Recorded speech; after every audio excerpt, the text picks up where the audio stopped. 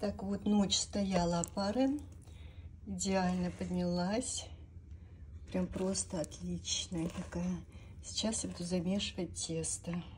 Сегодня я буду готовить бородинский хлеб, рецепт тоже дам в описании.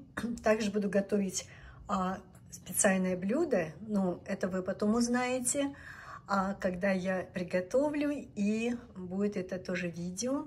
Теперь я буду готовить чиабату с помидорами, с сыром моцарелла. И еще я буду делать девочкам ягодное желе. Все, начинаем. А сейчас я буду делать чиабату. Вот я приготовила тесто. Рецепт будет тоже под видео. Нам понадобится сыр моцарелла, помидоры, зелень. Все это сейчас нашинкую. И оливковое масло, конечно. Все, тесто мы выложили в форму. И теперь аккуратненько прям распределяем по всей форме. Делаем хорошенечко, плоско.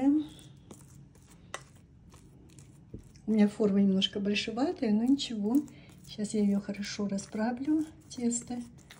И мы будем его заправлять.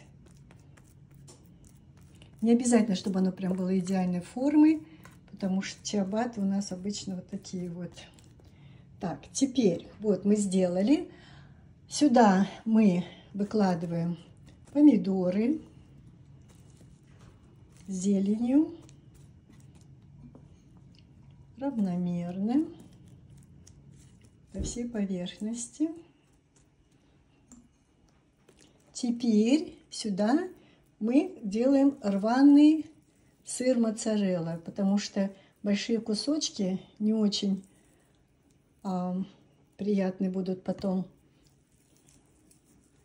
Вот мы прям сейчас поломаем побольше и разложим по всей поверхности нашего теста, которое идеально подошло. Заквасочка была хорошая. Рецепт будет внизу в описании. Ну, еще немножко можно добавить. Так. И в конце, самый очень тоже существенный моментик, мы прям немножко, буквально капельку побрызгаем оливковое масло. Прям вот так вот сделаем. Так. И теперь ручками все это хорошенечко приправим. Отправляем в духовку 220 градусов на 30-40 минут.